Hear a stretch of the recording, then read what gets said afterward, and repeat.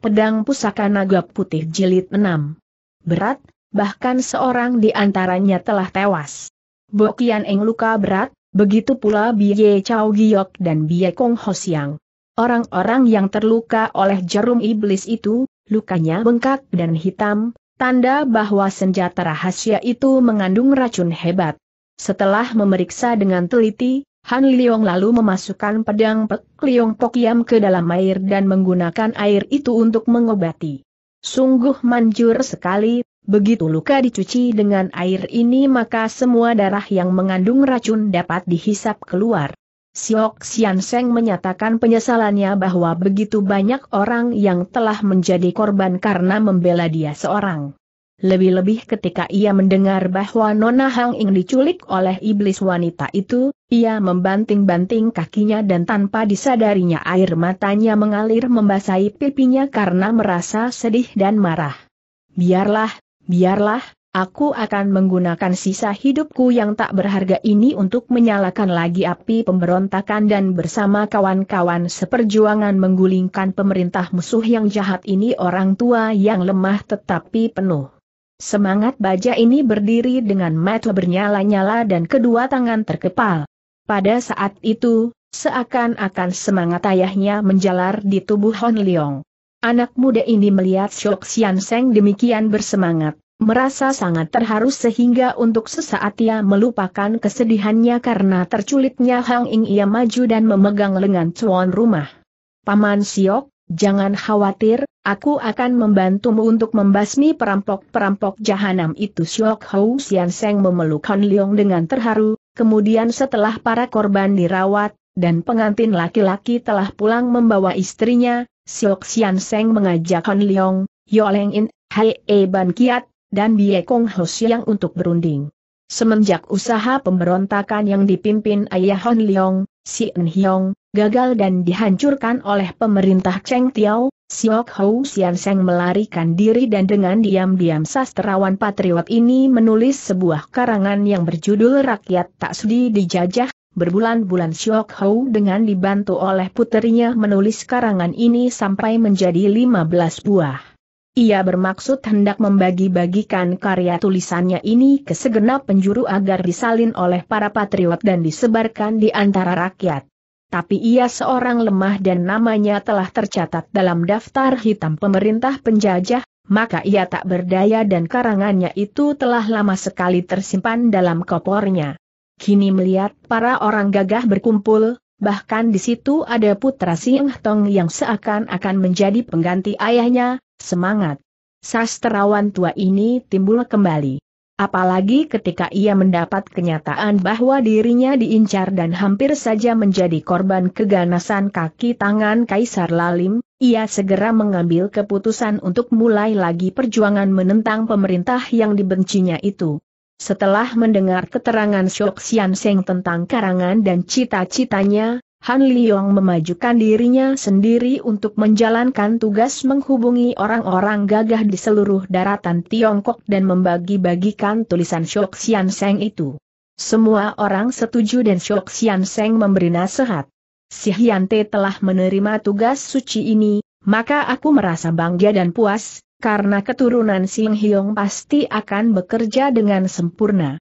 Hanya saja, hendaknya si Hyante berhati-hati, karena dengan adanya penyerangan terhadap rumah tanggaku, maka besar sekali dugaanku bahwa kaki tangan kaisar kejam itu telah mendengar tentang tulisanku itu dan tentu mereka akan bersusah payah dalam usaha mereka merampasnya, setelah berunding dan mengambil keputusan bahwa semua orang gagah yang diundang oleh Hon Leong dan yang lain-lain supaya datang menghadiri pertemuan di puncak Gunung Bengsan, tempat kediaman Bengsan Tojin, pada Go Gue E Cap Go untuk memilih seorang bengcu atau kepala, maka pertemuan itu diakhiri.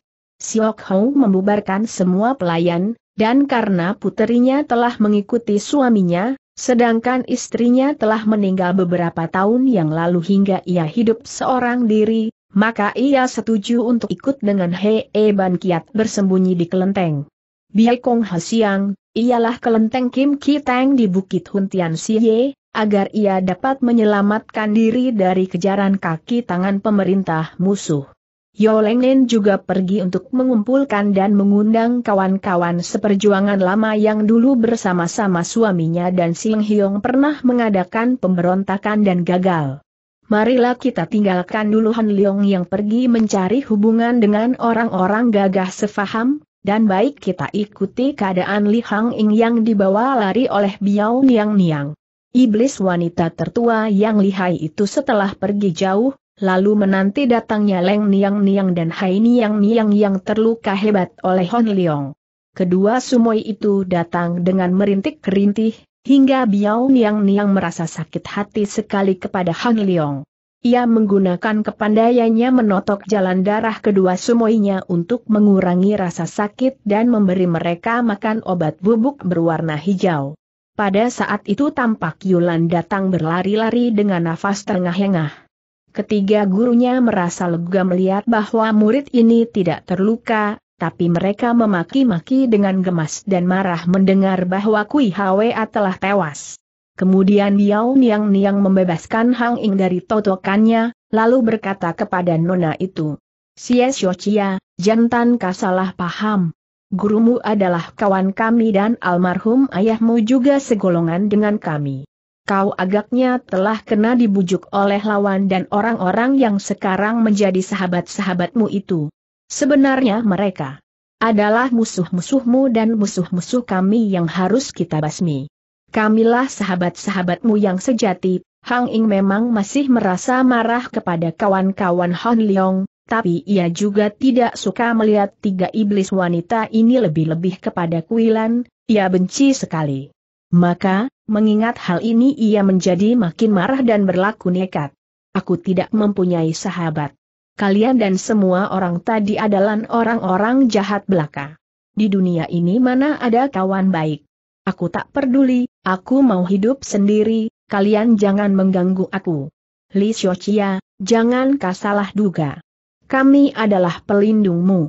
Kau harus ikut dengan kami ke istana. Apa? Istana? Apa maksudmu?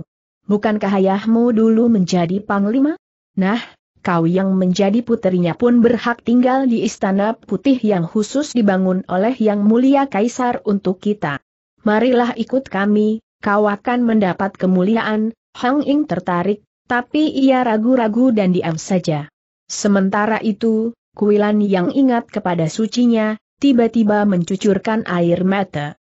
Biao Niang Niang menghela nafas, karena iblis wanita ini maklum akan perasaan muridnya. Sudahlah, Kuilan, tak perlu segala tangis itu. Kui Hwe gugur, tapi kita pun telah banyak menjatuhkan korban. Sayang tua bangka siswa itu terlepas dari ujung pedang kita. Biarlah mari kita pulang dulu untuk mengumpulkan tenaga bantuan. Mudah saja lain kali kita membalaskan sakit hati Kui Hwa, Hang Ing diam-diam menggunakan pikirannya. Agaknya orang-orang ini pun tergolong orang-orang gagah yang hanya berbeda pendirian dengan Han Leong dan kawan-kawannya. Kalau Han Leong dan kawan-kawannya memusuhi kaisar, iblis ini bahkan sebaliknya, membela kaisar. Mana yang betul? Tentu saja Haa Leong yang betul, kakaknya itu tak pernah bertindak salah. Terhibur hatinya kalau terkenang kepada Han Leong. Betapapun juga, pemuda itu tidak membencinya. Biarpun seluruh dunia membencinya, ia tak peduli, asal Han Leong jangan membencinya. Dan orang-orang ini, yang ia telah saksikan kelihayannya, agaknya juga suka padanya. Tentang permusuhan bela membela kaisar itu, ah, ia tidak mengerti dan juga tidak peduli. Bukankah antara ayah dan ibunya sendiri pun ada perbedaan faham macam ini? Hang Ing mempertimbangkan untung ruginya kalau ia ikut Biao Niang Niang.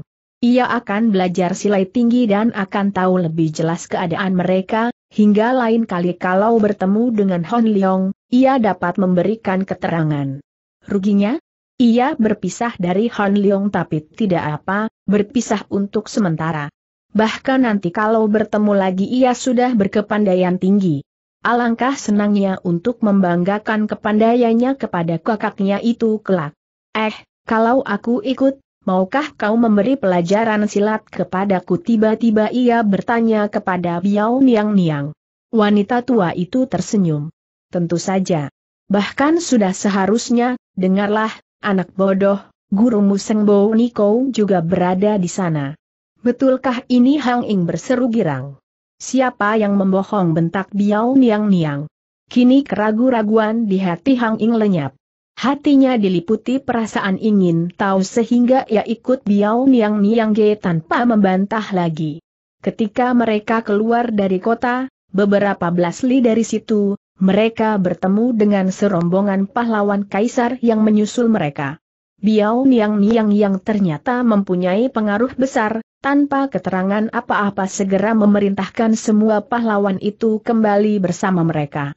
Kepala rombongan memberi kuda-kuda terbaik untuk mereka, sehingga perjalanan dapat dilanjutkan dengan cepat menuju ke kota raja.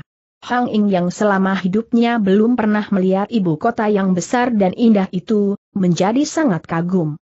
Setelah memasuki kota, rombongan itu memisahkan diri dan Biao Niang Niang mengajak kawan-kawannya menuju ke sebuah gedung besar. Memang tepat sekali gedung itu diberi nama Istana Putih. Karena dicat serba putih dan tampak bersih indah. Di dalamnya berhiaskan batu-batu marmer yang licin mengkilat. Hati Hang Ing berdebar ketika memasuki istana itu. Istana putih ini memang mewah dan indah. Dulu Kaisar sengaja membangun istana ini untuk seorang selirnya yang cantik dan manja bernama Yao Liang Kuei. Setelah merasa bosan dengan selir cantik itu, ia membuangnya sebagai barang hadiah kepada seorang hambanya. Kaisar lalu menganugerahkan istana putih itu kepada para kaki tangannya yang berjasa untuk dijadikan tempat berkumpul, bermusyawarah, dan beristahat.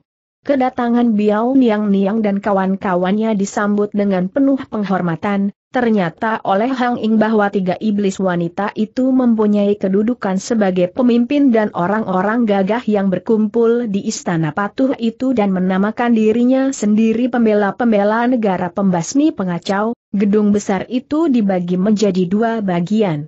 Bagian kanan diperuntukkan tamu-tamu lelaki dan tamu-tamu wanita menempati bagian kiri. Ketika Biao Niang Niang mengajak mereka menuju ke gedung kiri, Hang Ing tiba-tiba merasa girang sekali ketika melihat bahwa benar-benar Seng Bo Nikowi pun berada di situ, berkumpul dengan beberapa orang wanita gagah lainnya.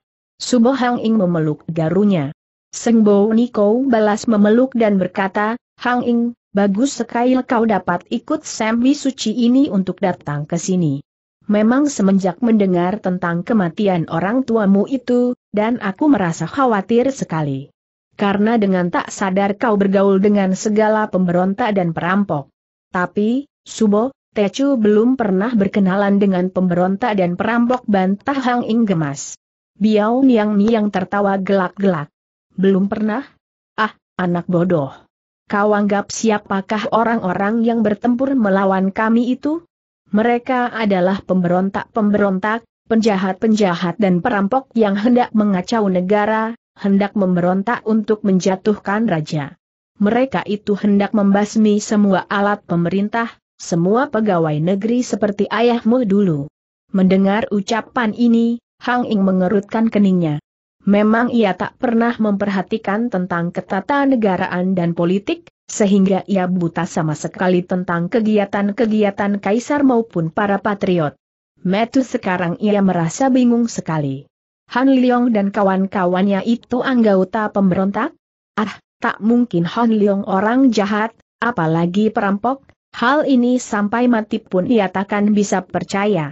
Entah kalau orang-orang tua yang mengaku menjadi guru-guru Han Leong itu, kelihatannya juga berwatak keras dan galak. Melihat muridnya hanya tunduk dan agaknya bingung, Sengbo Niko menghibur. Sudahlah, Hang Ing, jangan kau pusingkan semua ini kau masih terlalu muda untuk dapat mengerti. Kau tinggal saja dengan aku di sini dan belajar ilmu silat lebih lanjut. Aku akan minta Sam Wichichi untuk membimbingmu, karena kepandaianmu masih terlampau rendah, sedangkan dewasa ini banyak sekali orang-orang jahat yang lihai berkeliaran. Demikianlah, di bawah pengawasan Sengbo Niko dan di bawah bimbingan Biao Niang Niang yang lihai, Li Hang Ing belajar silat dengan rajin. Iblis wanita itu mengajarnya Kiam Huat dari cabang ke Lian Pai yang gerakan-gerakannya cepat, ganas dan sigap itu. Dasar Hang Ing berotak terang, maka beberapa bulan saja ia sudah dapat mewarisi banyak ilmu pedang yang istimewa. Ia cerdik dan tahu bahwa gurunya dan semua orang di Istana Putih adalah musuh Hon Leong, maka tak pernah ia menceritakan kepada mereka bahwa ia pernah mendapat ilmu silat dari pemuda itu. Di sebelah kanan Istana Putih itu ada sebuah rumah gedung bercat merah yang mewah dan tampak agung. Pekarangan depannya lebar dan sekeliling rumah berdiri pada tembok yang tebal dan tinggi. Gedung ini adalah tempat tinggal seorang Cianbu, Kapten, Shitan. Tan Cianbu adalah kapten dari barisan pengawal kaisar yang berkepandaian tinggi dan mempunyai tenaga besar. Ia juga seorang Hon yang memang telah berketurunan dari nenek moyangnya dulu selalu menjadi orang peperangan. Tan Cianbu terkenal bukan hanya karena ilmu silatnya yang tinggi, tapi juga terkenal akan tabiatnya yang kasar, terus terang dan jujur. Ia tidak suka akan hal-hal yang dirahasiakan atau dilakukan secara diam-diam, maka biarpun ia tahu juga bahwa Istana Putih di sebelah rumahnya adalah tempat berkumpul para orang kalangan Kengou yang diam-diam membantu Kaisar dengan jalan menerima hadiah-hadiah berharga, namun ia tidak peduli akan mereka ini dan tidak mau tahu lama sekali. Memang Kaisar mempunyai tentara pengawal sendiri, tapi di samping itu, Chow Tai Kam, pembesar kebiri yang sangat berpengaruh pada masa itu, dengan diam-diam berhubungan dengan orang-orang gagah itu dan ia menggunakan bujukan dan harta untuk membuat mereka ini mau bekerja di bawah perintahnya. Kaisar yang mengetahui hal ini tak lain hanya menyatakan persetujuannya, karena Cho Tai Kam menyatakan bahwa orang-orang gagah itu perlu didekati dan dipergunakan kepandaiannya untuk membasmi para pemberontak. Demikianlah, maka terdapatlah dua rombongan pembela kaisar dan pemerintahnya, yakni para pengawal kaisar merupakan tentara dinas dan para orang-orang gagah dari kalangan Kengou yang merupakan kelompok pembantu rahasia. Tan Bu mempunyai seorang putra bernama Tan Un Kiong. Un Kiong baru berusia 17 tahun, wajahnya tampan dan tubuhnya tegap. Tetapi sayang sekali, Pemuda ini kelihatan ketolol-tololan dan dari kata-katanya menunjukkan bahwa ia bodoh sekali. Ayahnya merata sangat sedih dan kecewa kalau melihat putra tunggalnya ini. Ia sebenarnya sangat sayang dan cinta kepada anak satu-satunya dan semenjak kecil dimanjakannya. Ketika masih kecil, Un Kiong adalah seorang anak yang cerdik dan pintar. Tetapi entah mengapa, setelah ia berusia tujuh tahun, mulailah tampak perubahan pada dirinya, dan gejala-gejala penyakit tolol mulai terlihat. Tan Bu sengaja mengundang seorang guru untuk mengajarnya ilmu surat menyurat. Tetapi ternyata setelah berusia tujuh tahun, Un Kiong rupanya malas sekali belajar. Apalagi kalau disuruh belajar silat, ia menyatakan ketidaksenangannya. Pernah ayahnya sendiri mencoba dan mengajarnya dasar-dasar ilmu silat, tetapi ia meniru gerakan ayahnya dengan ngawur tidak keruan dan membuat ayahnya gemas dan putus asa. Tetapi karena besarnya rasa sayang pada anaknya, ia tidak bisa marah dan dibiarkannya saja anaknya menurut kemauannya sendiri. Hal lain yang mengherankan, semenjak kecil Ungkiong tidak mau tidur dengan orang lain, biarpun dengan ibunya sendiri. Semenjak usia tujuh tahun, ia menghendaki kamar sendiri dan tak boleh seorang pun masuk ke kamarnya. Berbeda dengan ayahnya yang sama sekali tidak mau peduli dan tidak mau kenal dengan penghuni istana putih, Un Kiong sering datang main-main ke situ. Penjaga istana yang kenal baik padanya selalu menerimanya dengan hormat. Sedangkan para tamu yang terdiri dari orang-orang gagah itu, Walaupun sebal melihat pemuda tolol itu, namun di depannya mereka tersenyum dan menghormat juga, karena mereka tahu pula bahwa pemuda tolol itu adalah putra Tan Cianbu yang terkenal dan disegani. Pada suatu pagi, ketika Hang Ing sedang belajar silat di bawah bimbingan Biao Niang Niang, tiba-tiba mereka berdua mendengus suara di tembok yang memisahkan halaman Istana Putih dengan gedung Tan Cianbu. Mereka menengok segera dan melihat kepala seorang muncul dari balik tembok. Ketika orang itu naik ke tembok, ternyata ia adalah Tan Un Kiong yang naik dengan menggunakan tangga bambu.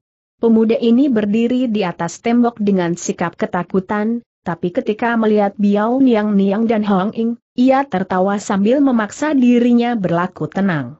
Biao Sutai tolonglah aku, katanya sambil mendekam di atas tembok, karena ia tidak berani berdiri lebih lama lagi di atas tembok yang tinggi itu. Eh, Tan Kong Chu, kau hendak ke mana? Kau minta ditolong dalam hal apakah jawab Biao Niang Niang dengan sabar.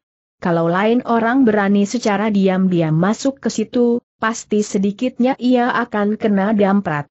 Biao Sutai jangan marah, aku, aku mendengar suaramu semua dari balik tembok dan mendengar suara angin pedang cici ini bersuitan. Hatiku tertarik dan ingin melihat. Tidak tahu akan tembok ini begini tinggi, aku, aku tidak bisa turun lagi.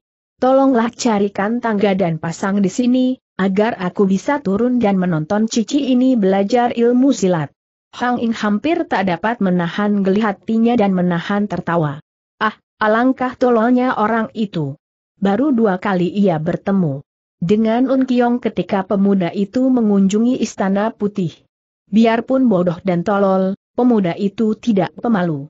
Begitu bertemu, ia berani mengajak bicara kepada Hang Ing dengan sikap yang tulus dan jujur, hingga Hang Ing juga tidak malu menjawabnya. Agaknya pemuda itu terlampau tolol untuk dapat bersikap kurang ajar terhadap wanita. Tapi di dalam hatinya, Hang Ing memandang rendah sekali kepada pemuda itu. Alangkah jauh perbedaan antara Un Kiong dengan Hon Leong. Mungkin hanya kecakapan wajah dan keindahan pakaian sejalah yang ada pada Un Kiong dan tak usah mengaku kalah, tapi jika dibicarakan tentang kepandaian, baik silat maupun surat menyurat, Han Liong boleh diumpamakan emas dan Un Kiong besi tua Yao berkarat. Tan Kong Chu bukankah sudah pernah belajar silat? Bukankah ayahmu seorang ahli silat ternama? Masakan tembok yang sebegini tingginya saja kau tak mampu melompatinya Hang Ing mengejek, sedangkan Biao Niang Niang hanya berdiri menertawakan. Un Kiong memandang Hang Ing dengan mata terbelalak. Biarpun bodoh, tapi ia masih mempunyai rasa kebanggaan. Mendengar kata-kata gadis itu ia tidak merasa bahwa ia diejek, malahan merasa dipuji. Maka sambil tertawa hahaha ia berkata, Memang aku pernah belajar silat. Bahkan ayah telah mendatangkan banyak sekali guru silat yang pandai. Aku pernah diajar oleh ayah untuk melompat ke atas, tetapi melompat ke bawah, ah sesungguhnya, belum pernah ku pelajari. Entah mengapa, untuk melompat ke bawah, baru melihat ke bawah saja. Hatiku sudah tidak karuan rasanya, kini Hang Ing dan Biao Niang Niang tak dapat lagi menahan gelaknya. Un Kiong merasa bahwa ia ditertawakan, maka ia berkata sambil mengangkat kepala memandang. Coba Cici tolong memberi contoh, melompatlah ke atas tembok ini, kemudian aku hendak memperhatikan caramu melompat turun untuk kutiru Biao Niang Niang yang jarang melihat peristiwa lucu seperti ini timbul kegirangannya dan ia menyuruh Hang Ing meluluskan permintaan pemuda tolol itu. Dengan gerakan Hui Niao Choan In atau burung terbang menerjang Mega, ia melompat ke atas tembok dan berdiri di dekat Tun Kiong dan berkata, Bagus, bagus pemuda itu lalu berdiri dengan hati-hati, tubuhnya gemetar karena ia takut jatuh. Nah, lihatlah, aku hendak melompat turun kata Hang Ing yang sengaja menggunakan tipu lompat Kuai Liong Hoan Sin atau siluman naga jumpalitan. Ia jungkir balik dengan poksai yang indah sampai tiga kali sehingga kakinya kelihatan sangat ringan menginjak tanah. Wah, gerakan Cici sukar sekaki untuk ditiru. Mana aku bisa jungkir balik macam itu? Biarlah aku melompat tanpa jungkir balik, ia lalu membuat gerakan meniru-niru sikap Hang Ing tadi, lain tubuhnya melompat turun bagaikan batu jatuh. Terdengar suara berdebok kerae dan debu mengepul ketika pinggul Lun Kiong menimpa tanah dan pemuda itu mengaduh-aduh beberapa kali. Untung baginya tidak ada tulangnya yang patah atau kulitnya yang luka. Hang Ing dan Biao Niang Niang tertawa makin keras dan iblis wanita tua itu segera maju menolong Un Kiong berdiri. Kemudian Hang Ing melanjutkan latihannya bermain pedang dan ditonton oleh Un Kiong yang duduk di atas sebuah batu penghias taman istana putih itu. Berkali-kali ia memuji-muji keindahan gerak dan kelincahan Hong Ing lalu dengan menggunakan setangkai kayu ia pun bersilat meniru-niru gerakan gadis itu, tapi gerakannya tak karuan sedangkan kuda-kuda kakinya pun sering terbalik hingga kelihatannya sangat lucu. Pada saat itu Kuilan datang dengan wajah pucat. Celaka, Subo katanya kepada Biao Niang Niang setelah ia berada di depan gurunya. Kuilan tenanglah. Ada apakah maka engkau demikian ketakutan tegur Biao Niang Niang. Subo, celaka. Semua kamar telah diperiksa orang malam tadi. Apa maksudmu Kuilan hendak menjawab, tapi tiba-tiba ia tahan kata-katanya ketika melihat Tun Kiong berdiri di dekat situ. Wajahnya yang tadinya suram dan gelap diliputi kekhawatiran, tiba-tiba menjadi terang ketika melihat pemuda itu.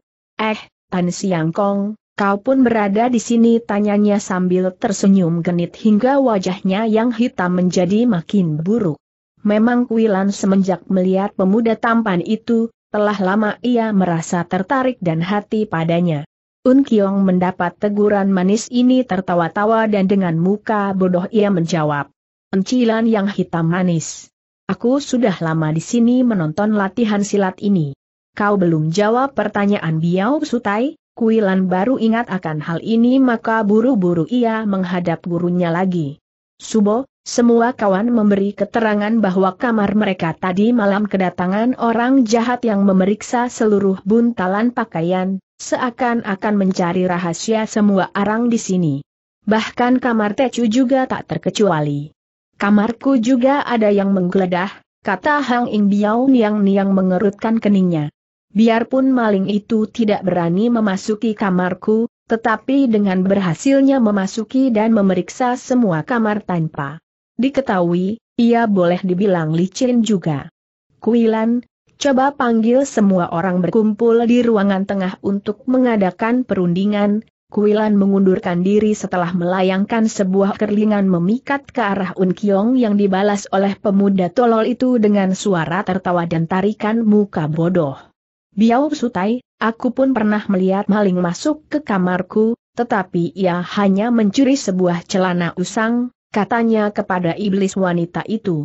Biao Niang Niang merasa kesal dan membelalakan matanya, tetapi melihat pemuda itu berdiri tersenyum sehingga wajahnya yang muda itu tampak jadi semakin tampan, lenyaplah hawa marahnya. Ia harus mengakui bahwa pemuda itu sangat menarik dengan wajahnya yang berkulit putih bersih, sepasang matanya yang tajam bersinar gembira, bibirnya yang merah seperti bibir wanita, tetapi dagunya yang keras tajam serta alis matanya yang berbentuk golok membuat ia tampak gagah. Sayang pemuda seperti ini demikian dungu. Kalian hendak mengadakan pembicaraan tentang maling, baiklah aku pulang saja, sekarang sudah waktunya makan pagi dan ayah akan marah kalau aku tidak ada di rumah. Cici kalau mau latihan pedang lagi, beritahulah aku, agar kita bisa latihan bersama-sama, jadi lebih cepat maju setelah menjura untuk memberi hormat. Pemuda bodoh itu berjalan pergi melalui pintu luar. Subo sabar sekali menghadapi pemuda bodoh itu, kata Hang Ing biarpun bodoh, ia putra tunggal dari Tan Bu yang telah berjasa kepada Kaisar. Dan tidak anak muda itu tampan menurut pendapatmu mendengar pernyataan ini, Hon Ing merasa heran dan juga jengah serta jemu terhadap gurunya.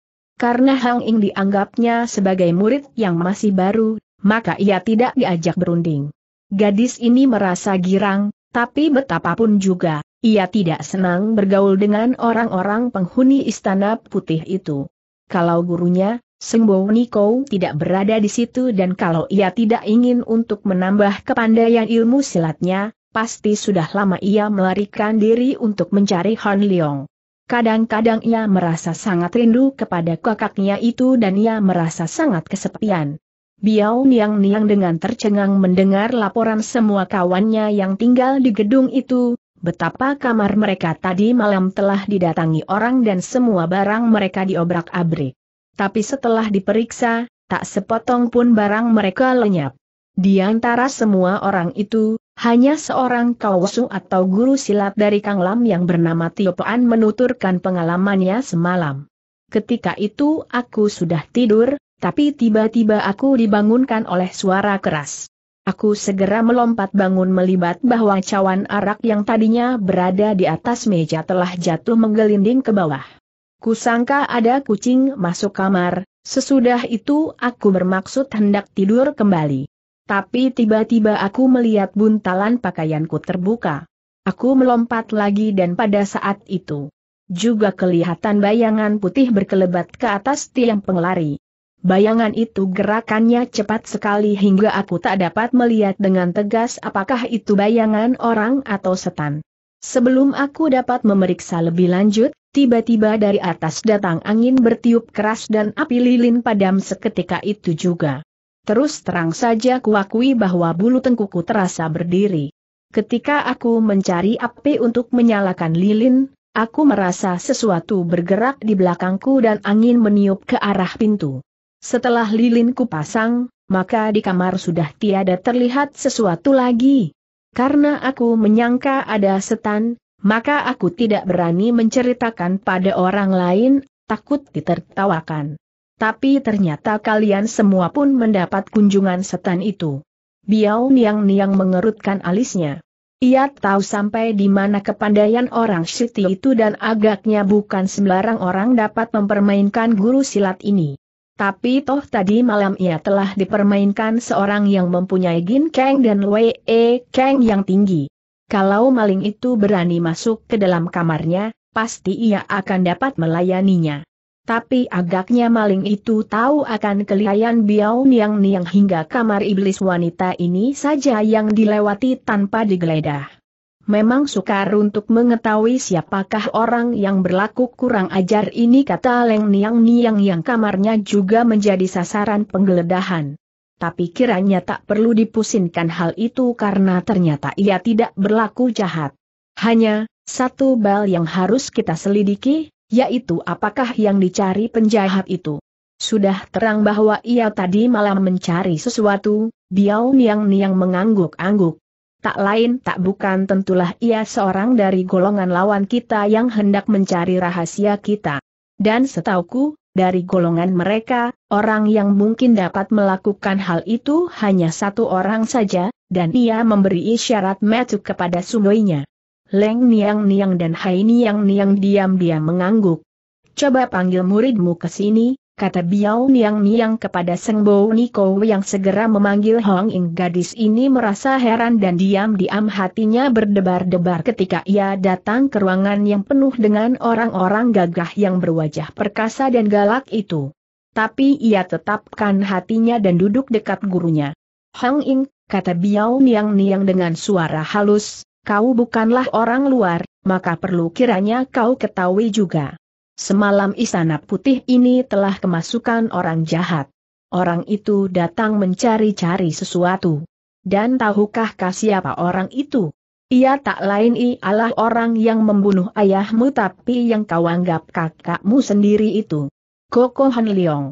Dia yang datang malam tadi Hang Ing bertanya heran, hatinya berdetak-detak, karena kini ia pun merasa betapa besarnya kemungkinan ini. Banyak alasan Han Leong untuk datang menyelidik ke situ, dan siapakah orangnya yang berkepandaian begitu tinggi dan berhati begitu berani dan tabah selain Han Leong. Agaknya kau juga percaya akan kemungkinan ini, kata Biao Niang Niang yang pandai membaca suara hati orang. Sepak terjang anak muda itu sungguh berani dan berbahaya sekali. Maka coba kau ceritakan kepada kami tentang keadaannya.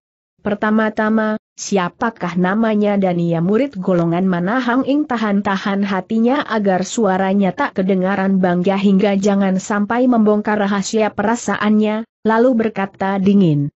Ia adalah si Han Leong. Gurunya banyak sekali. Kalau aku tak salah ingat, guru pertama adalah Liok Te Sin Mo Hang In, guru kedua Beng San Jin Pau Kim Kong, guru ketiga Kim Tu Bie Kong Hasiang, guru keempat Xiao Lo Ong He E Ban Kiat. Dan ia masih mempunyai seorang guru lagi, yakni Kam Hang Su, semua orang terkejut mendengar ini, dan ketiga iblis wanita itu diam-diam mengagumi juga. Kam Hang Siansu, ah, tidak dinyana manusia dewa itu masih hidup dan menerima murid seperti Han Leong itu. Pantas saja ya. Demikian Ai Biao Niang Niang berkata seperti kepada dirinya sendiri. Hang Ing dengan rasa bangga menambahkan. Dan ia adalah putra tunggal dari Siang Hiong yang terkenal Biao Niang Niang dan Seng Biao Niko loncat berdiri. Apa kata Biao Niang Niang? Sayang aku tidak mengetahui hal ini dari dulu. Hang Ing tahukah kah siapa orang yang kau sebut Siang Hiong itu? Ia adalah si Chin Hai, seorang kepala pemberontak besar yang telah kami basmi. Semua ini kesalahan ayahmu sendiri yang kena terpikat oleh istrinya, sehingga istri dan anak kepala pemberontak itu tak dapat dilenyapkan dari muka bumi ini. Membasmi pohon jahat harus dengan akar-akarnya, kaya pribahasa, tapi ayahmu menyalahi hukum ini dan ia bahkan mengambil istri musuh menjadi istrinya dan dengan demikian ia menyelamatkan anak musuhnya. Tentu saja hal ini sama dengan memelihara anak serigala dalam rumah. Dan betul saja, anak itu setelah dewasa kini merepotkan kita semua. Biao Niang Niang menghela napas, tak pedulikan wajah Hang Ing yang tampak tidak senang itu mendengar ayah ibunya menjadi buah tutur orang dan menerima berbagai celaan.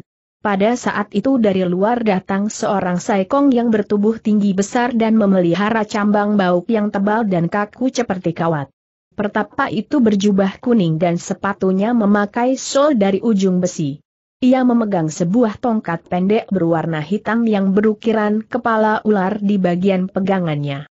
Di punggungnya, tergantung kantong witu yakni semacam golok kecil yang memakainya dengan pelemparan hingga disebut golok terbang. Ketiga iblis wanita melihat Saikong itu lalu berseru girang.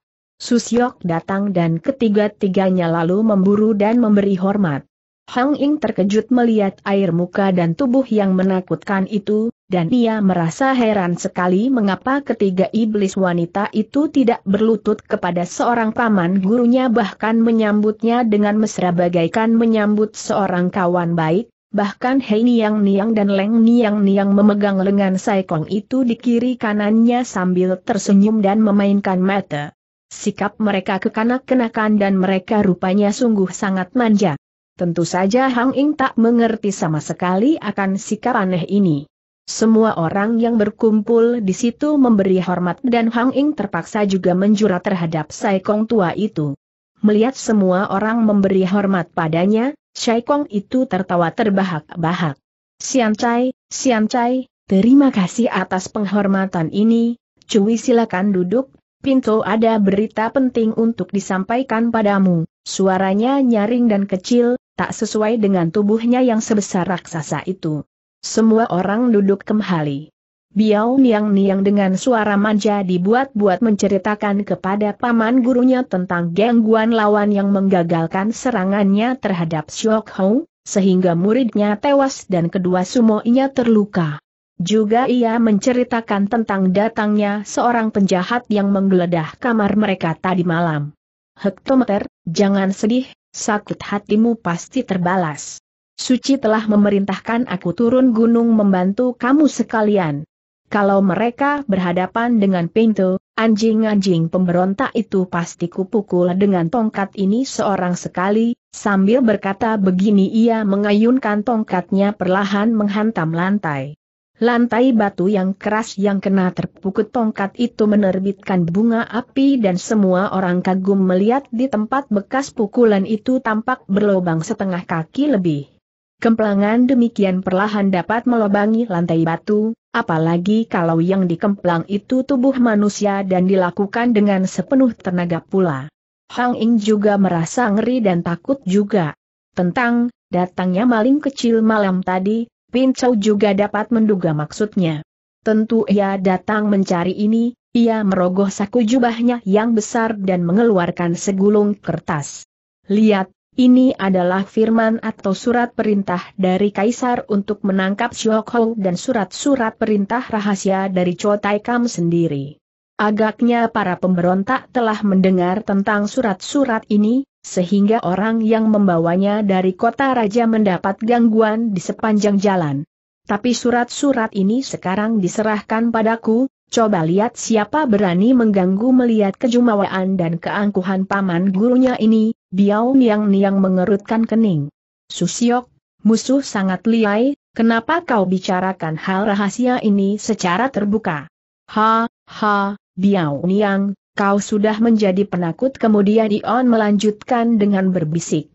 Hal ini ku sengaja agar pihak musuh mendengar dan mencoba datang.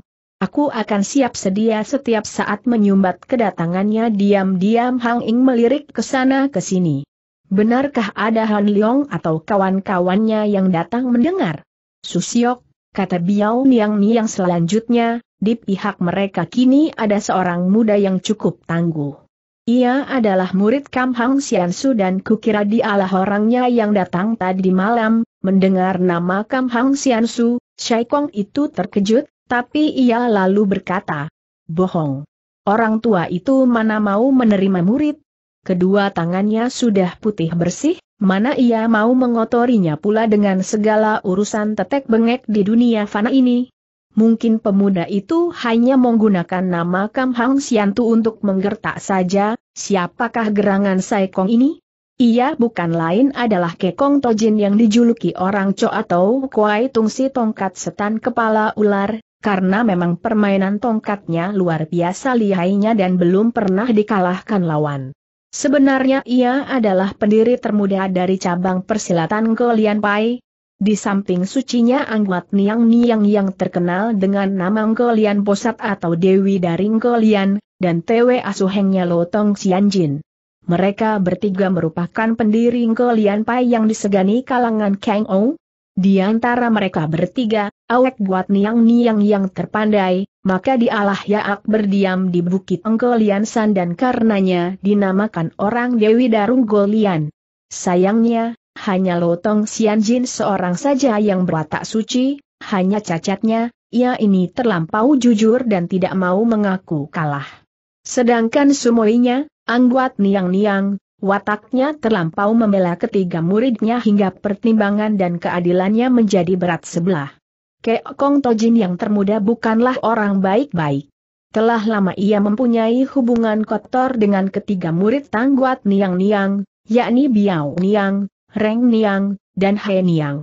Dengan demikian, boleh dibilang bahwa kedatangan ketiga wanita yang menjadi anak murid Engko Lian Pai itu, telah mengotorkan nama Engko Lian Pai dan merusak kebersihan hati Kekong Tojin dan Angguat Niang Niang. Kalau bicara soal kepandaian, Lotong Sian Jin dan Angguat Niang Niang sama lihainya, karena dalam hal ilmu pedang Engko Lian Posat lebih unggul, tapi Lotong Sian Jin sebaliknya lebih tinggi ilmu ginkang dan luakangnya. Kong Tojin masih kalah setingkat dari kedua kakak seperguruannya itu.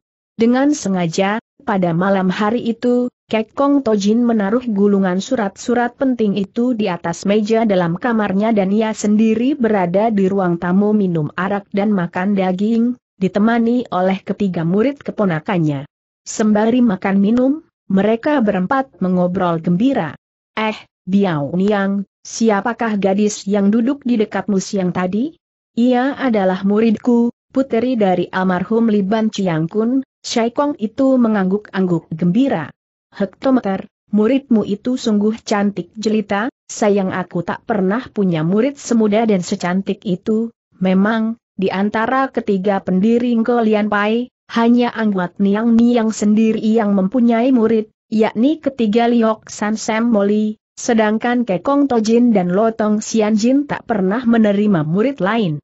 Pada saat Biao Niang Niang hendak menegur paman gurunya dan mengatakannya matu keranjang, tiba-tiba Saikong itu mengayunkan sumpitnya ke atas. Sumpit itu meluncur seperti anak panah dan menembus genteng dengan suara nyaring. Ketiga iblis wanita pun melompat sambil mencabut pedang. Biar kami yang menangkap batu itu, Susok duduk sajalah minum arak kata Biao Niang Niang yang segera meloncat keluar, diikuti kedua sumoinya. Bangsat maling jangan lari teriak Hai Niang Niang dengan suara nyaring. Teriakan ini membuat semua orang dalam istana putih itu bangun terkejut dan melompat keluar mengejar dengan senjata di tangan. Hang Ing merasa berdebar-debar karena timbul dugaan dalam hatinya kalau-kalau yang datang itu adalah Hon Leong dan kawan-kawannya. Maka tanpa berkata sesuatu ia pun ikut melompat ke atas genteng. Ketika tiba di atas, Hang Ing melihat seorang laki-laki tinggi kurus sedang bertempur melawan ketiga iblis wanita. Tamu malam itu belum tua benar, lebih kurang 45 tahun, tapi rambutnya telah putih semua. Ia bersenjatakan John Pian atau ruyung cambuk dan bersilat dengan gerakan yang luar biasa cepat dan lincahnya. Tadinya Biao Niang Niang seorang diri melawan tamu malam itu, tapi ternyata iblis wanita tertua itu bukan tandingan si rambut putih. Maka, dengan berseru marah, Leng Niang Niang dan Hai Niang Niang ikut menyerbu hingga tamu malam yang lihai itu dikeroyok tiga. Orang-orang lain tak berani ikut mengeroyok karena keempat orang yang sedang bertempur itu berkepandaian tinggi sehingga merupakan bayangan empat tubuh yang sukar dikenal lagi mana kawan mana lawan. Pada saat orang-orang sedang menyaksikan pertempuran hebat ITN dengan kagum, tiba-tiba dari bawah terdengar teriakan nyaring dari Kekong Tojin. Bangsat rendah kau datang ingin mencari kematian semua orang di atas genteng, kecuali yang sedang bertempur, merasa terkejut. Tiba-tiba dari bawah meloncat seorang dengan gerakan lincah dan ringan laksana seekor burung. Hang Ing hampir berteriak karena orang itu potongan tubuhnya hampir sama dengan Hon Leong, hanya lebih kecil sedikit. Orang yang baru datang ini memakai kedok kain sutra hitam dan tangannya memegang sebuah pedang yang berkilauan. Tangan kirinya memegang gulungan kertas yang berisi perintah dan rencana rahasia yang dibawa oleh Kekong Tojin siang tadi. Ternyata ia menggunakan kesempatan ini selagi orang-orang ribut mengepung si rambut putih di atas genteng, si kedok hitam ini turun dengan diam-diam dan mencuri dokumen itu di kamar Kekong Tojin.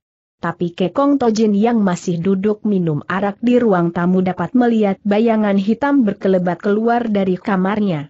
Kebetulan pada saat itu tangannya sedang memegang tulang paha ayam dan memakan dagingnya, maka ia melemparkan tulang ini ke arah bayangan itu. Biarpun hanya kecil, tapi karena dilempar oleh Kekong Tojin yang mempunyai tenaga dalam sempurna, maka tulang itu merupakan senjata yang sangat berbahaya. Si kedok hitam mendengar sambaran angin, cepat menempiskan tangannya dan tenaga tempisan ini mengeluarkan angin dan dapat memukul jatuh tulang itu ke lantai. Tanpa ayah lagi, setelah berhasil menyambar gulungan kertas pening dari atas meja, si kedok hitam menghilang pergi, dan dikejar oleh Kekong Tojin sambil memaki-maki. Si rambut putih biarpun dikeroyok oleh tiga iblis wanita yang liai, namun dapat melayani mereka dengan baik dan tidak sampai terdesak, bahkan ia masih sempat mengerling ke arah si kedok hitam. Melihat si kedok hitam itu memegang gulungan kertas, ia berseru keras dan John piannya berputar menyambar bagaikan kilat hingga ketiga iblis wanita terpaksa mengelak sambil mundur. Kesempatan ini digunakan oleh si rambut putih yang berkelebat dan meloncat menabrak si kedok hitam sambil berseru.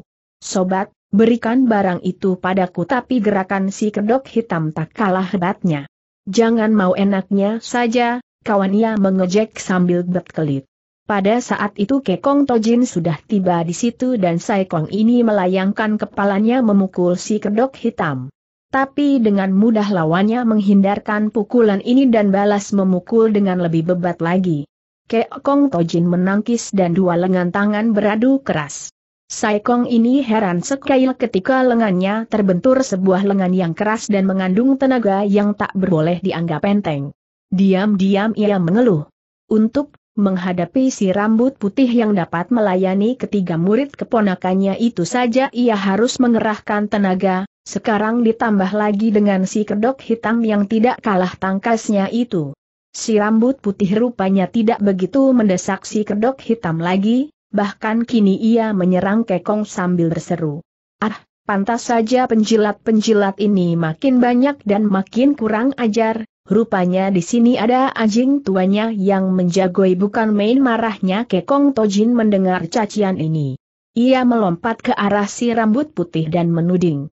Bangsa terendah. Berani banar kau berlancang mulut.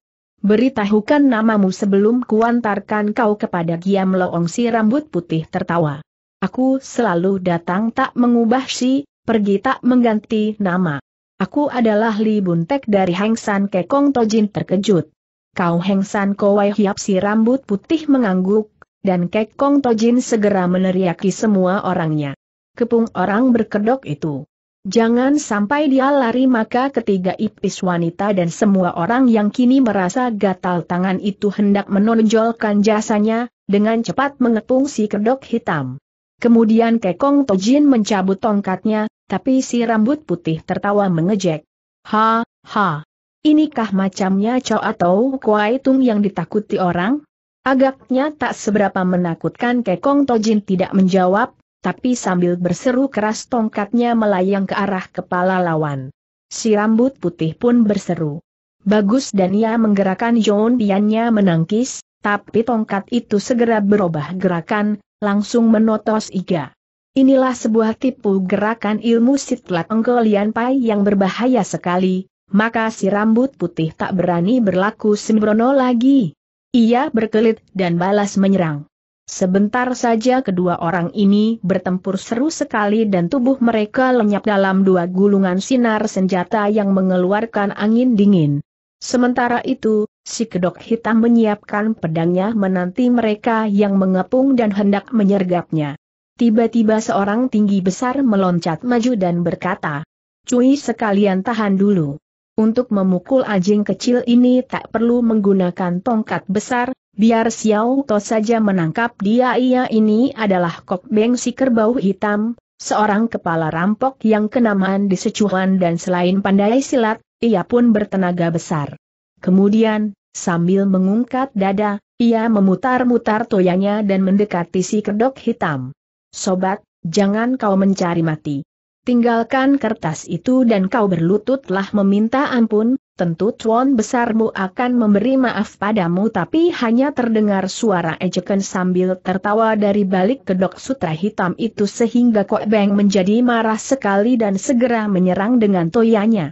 Tapi di luar dugaannya, kaki kiri si kedok hitam itu terangkat dan dipakai mendepak ujung toyanya, lalu pedangnya berputar-putar menebas lengan yang memegang toya. Gerakan istimewa ini sungguh tak terduga, juga sangat berbahaya, sehingga Kok Bieng menjadi terkejut. Terpaksa ia melepaskan toyanya dan meloncat mundur. Hebat betul, teriaknya dan mukanya menjadi pucat lalu berubah merah. Baru satu gebrakan saja ia terpaksa harus melepaskan senjatanya dan mundur. Biao Niang Niang terkejut gerakan, si kedok hitam. Yang tadi itu adalah gerakan tendangan Xiao Chutuye yang dilakukan dengan mahir sekali. Ia teringat akan seorang pendekar gagah perkasa yang menjadi ahli tendangan itu, maka tanpa disengaja ia bertanya. Apa hubunganmu dengan Sin Chiu Tai Hiap Kau Sin Ek sepasang metu di balik kedok itu memandangnya dengan sinar metu berkilat, tetapi yang terdengar hanya suara tertawa mengejek.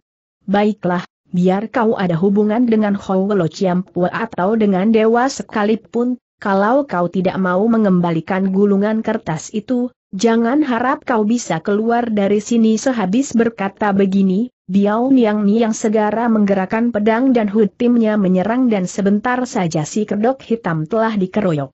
Tetapi ternyata ia dapat bergerak dengan cepat sekali sehingga tak mudah bagi mereka untuk menangkapnya. Hang Ing yang berdiri dalam saja sambil melihat pertempuran itu dengan hati kagum, kini tahu bahwa dua orang tamu malam itu bukanlah kawan-kawan Han Leong yang pernah dilihatnya. Ia lebih-lebih kagum ketika melihat gerakan si kedok hitam yang ternyata ditelik dari potongan tubuh dan rambutnya, masih muda benar. Tetapi kemudian diam-diam ia khawatir melihat si kedok hitam itu terdesak juga oleh tiga kebutan dan pedang dari si tiga iblis wanita, ditambah dengan kepungan orang-orang lain. Ketika ia menengok ke arah Kekong Tojin, ia melihat Saikong itu masih bertempur seru melawan pendekar aneh dari Hengsan itu dengan kekuatan berimbang. Tiba-tiba terdengar Biao Niang Niang menjerit ketika pundaknya tergores sedikit oleh pedang musuh sehingga mengeluarkan darah. Dengan marah tiga iblis wanita itu mengeluarkan Bwe Hwe Aciamnya, jarum beracun yang kejam itu. Melihat senjata berbahaya itu dihamburkan ke arahnya, si kedok hitam melompat tinggi sampai dua tombak dan dari atas ia meluncur turun dari genteng dengan gerakan naga air terjun ke laut yang indah dan cekatan sekali. Sambil berteriak-teriak semua pengejarnya ikut melompat turun. Hang Ing merasa heran mengapa si kedok hitam itu bukannya lari keluar tapi malah kembali masuk ke istana putih. Ia juga ikut melompat turun. Tapi biarpun semua orang mencari di mana-mana, si kedok hitam tak tampak bayangannya lagi. Semua orang mencari berkeliling sambil memaki-maki tak keruan. Setelah mencari beberapa lama tanpa hasil, tiga iblis wanita dengan diikuti semua orang, ramai-ramai naik lagi ke atas genteng di mana Kekong Tojin masih bertarung seru melawan Heng San. Biao Niang Niang bertiga melihat Susyoknya tak dapat mengalahkan lawannya, segera maju sekalian mengeroyok. Kekong Tojin diam saja melihat ketiga murid keponakannya maju mengeroyok, bahkan diam-diam ia merasa girang, biarpun ia tahu bahwa hal itu tak pantas dilakukan oleh seorang tokoh persilatan besar seperti dia. Kini Heng San Kowai Hiap repot juga, karena ketiga iblis wanita itu walaupun ilmu silatnya masih kalah setingkat. Namun dengan maju bersama, mereka merupakan tenaga bantuan yang hebat juga. Perlahan-lahan ia terdesak. Pada saat itu, tiba-tiba terdengar suasa mencela. Kek Kong. Sungguh sikapmu tak pantas dengan keroyokan ini membuat orang-orang gagah merasa malu dan pada saat itu juga tiga buah benda hitam melayang cepat dan tepat sekali memukul ketiga pedang dari tiga iblis wanita itu, hingga ketiga pedang itu melenting dan hampir saja terlepas dari pegangan. Heng San Kowai Hiap melompat ke belakang dan berkata kepada Kekong. Barang yang ku kehendaki sudah terampas oleh orang lain aku tiada waktu melayani kau lebih lama. Kalau ada untung lain kali kita berjumpa pula tubuhnya lalu berpusing-pusing di udara dan menghilang. Sementara itu, tiga iblis wanita merasa heran dan kaget sekali melihat bahwa senjata rahasia yang membentur pedang mereka dan membuat pedang itu hampir terlepas ternyata hanya tiga potong pecahan genteng. Dapat dibayangkan betapa dahsyatnya tenaga pelemparnya. Diam-diam mereka merata ngeri juga. Setelah semua orang turun dan berkumpul di ruang tengah, Kek Kong menghela nafas dan berkata, Biao yang berkata benar, musuh banyak juga yang lebih tinggi kepandaiannya dari kita. Sekarang surat-surat itu sudah jatuh ke tangan musuh, kita harus berusaha merebutnya kembali. Dan kita harus mencari bala bantuan.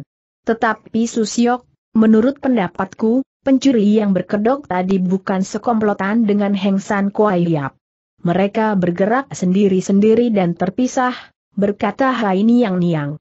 Tiba-tiba Biao Niang Niang melihat ke sana kemari, seakan-akan ada yang dicarinya, kemudian ia bertanya heran. Eh, mana Seng Bo Niko? Kenapa aku tidak melihatnya semenjak tadi Hang Ing terkejut mendengar ini dan ia pun heran, karena memang ia tidak melibat gurunya itu ikut bertempur tadi. Semua orang mencari, tetapi tidak dapat menemukan Niko itu. Hang Ing merata khawatir sekali dan meloncat naik ke atas genteng. Setelah ia mencari beberapa lama, ia berteriak kaget sehingga semua orang meloncat naik mengejarnya. Ternyata pendeta perempuan itu rebah di atas genteng belakang dan ketika diperiksa ternyata ia dibuat tak berdaya dengan sebuah totokan yang lihai sekali. Kek Kong Tojin segera menepuk bahu dan menotok punggung Seng Bo Niko hingga pendeta itu dapat bergerak kembali. Berulang kali ia menghela napas.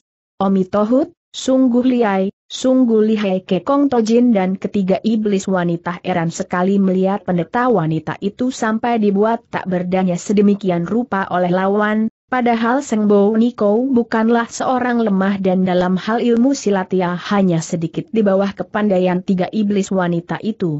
Seng Bo Niko lalu bercerita. Ketika kalian bertempur tadi, aku hendak membantu, tetapi tiba-tiba aku melibat sebuah bayangan berputar-putar di atas genteng belakang. Aku mengejar dan kemudian menjadi sangat terkejut, karena ternyata yang berdiri di situ bukan lain ialah Sin Chiu Tai Hiap Kau Sin Ek. tentu saja aku tak berani melawan orang tua itu dan diam-diam aku tersembunyi di balik gulungan genteng. Aku melat juga betapa orang tua yang lihai itu menggunakan pecahan genteng memukul padang suci bertiga. Melihat ia menggunakan senjata rahasia istimewa itu, aku teringat bahwa biarpun aku takkan dapat melawannya, tetapi sedikitnya dari tempat gelap itu aku dapat melepaskan senjata rahasia jarum, karena itu aku justru sembunyi di belakangnya. Tanpa pikir lagi aku mengirimkan segenggam jarum, tapi tak sangka ia sedemikian lihainya. Tanpa menengok ia mengayunkan lengan baju dan telah meniup pergi semua jarumku. Sebelum aku sempat lari, ia telah meloncat dan tanpa kusadari aku telah tertotok dan terbah tak berdaya Kekong Tojin menghela napas. Celaka, terlampau banyak lawan lihai yang datang malam ini. Kita harus berhati-hati dan mulai malam ini kita harus mengatur penjagaan yang kuat, setelah berkata demikian. Kong Tojin memimpin sendiri dan mengatur penjagaan di semua sudut sehingga istana putih itu terkurung kuat. Kemudian orang-orang yang tidak bertugas menjaga kembali di kamar masing-masing. Hang Ing dengan hati lega karena si rambut putih dan si kedok hitam terlepas dari bahaya, kembali ke kamarnya pula. Ia memasuki kamar, lalu menutup pintunya dan memasang lilin. Hampir saja ia berteriak, karena melihat di atas kursi di kamarnya duduk seorang yang berkedok sutra hitam. Baiknya si kedok hitam segera memberi tanda agar ia jangan berteriak.